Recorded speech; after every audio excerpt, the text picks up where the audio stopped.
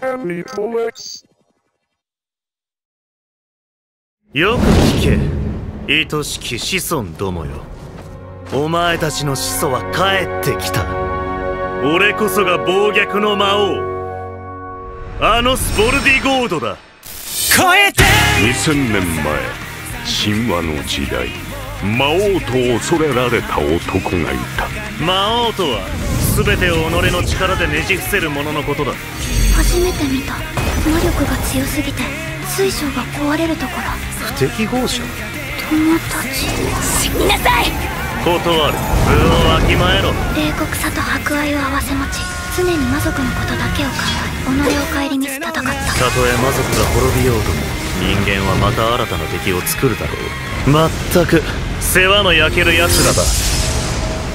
不適合者お前の名前は？あのス・ボルディゴードだ。